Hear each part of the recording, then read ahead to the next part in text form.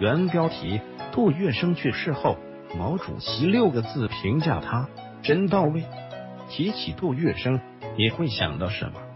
有人说他是乱世枭雄，有人说他是流氓大亨，也有人说他是青帮大佬等等。的确，他身上有无数的标签。除了人们熟知的几个身份外，杜月笙还曾经是中国红十字协会副会长。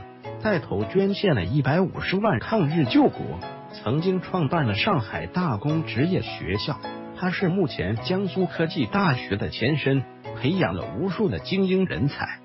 杜月笙一八八八年出生于上海浦东高桥，小时候身世比较可怜，父母很早就去世了，在高桥靠着亲戚的救济勉强活了下来，后来独自闯荡上海滩。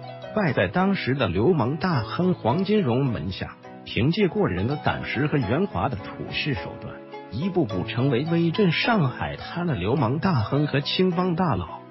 杜月笙之所以后来有那么大的名气，一方面与自身的能力有关，另外一方面与其结交的人物密不可分。杜月笙把情义看得比钱财重。出多，他曾经说过：“钱有用完的时候。”情谊却永远用不完，也正是因此，他结交上了蒋介石，认识了当时还落魄不堪的戴笠，帮助逃难的张学良，救助国学大师章太炎等。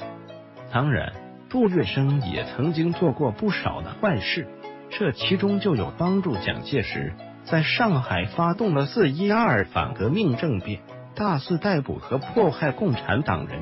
秘密杀害了当时的工人领袖王寿华，成为蒋介石在上海的一个棋子。这也是为什么说杜月笙是一位复杂的人。他既是蒋介石迫害革命人士的大手，又在民族大义面前是非清白，坚决不当汉奸，积极抗日。因此，不能简单的用好人与坏人来评价他。正是鉴于杜月笙在上海的影响力。当时的国民党和共产党都想拉拢他，前期他站在了国民党这边，等到解放军快要打到上海的时候，他却犹豫了，是留在上海，还是去台湾或者出国？最终，他选择了一个最佳的方案，去香港。从这个选择也能看出杜月笙的精明之处。留在上海，他担心共产党会找他算账。去台湾，他将一无是处；只有去香港最合适，这样既不得罪共产党，也不得罪蒋介石，两全其美。来到香港的杜月笙，生活过得并不舒心。一方面，他失去了在上海的权势和威风；另外一方面，他的身体一天不如一天。终于在一九五一年八月十六日，杜月笙离开了人间。他的传奇人生就此结束。在临去世前，他把所有的欠条都撕毁了，把最后的十五万美元分配一下。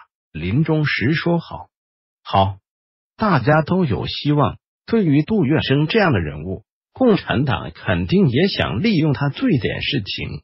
当时，上海陈毅市长曾写信让杜月笙回上海，共同发展上海。但杜月笙再三思考之后，还是决定留在香港。就连毛主席也曾评价杜月笙说：“有本事，没脾气。”这正是杜月笙眼里的一等人。返回搜狐，查看更多责任编辑。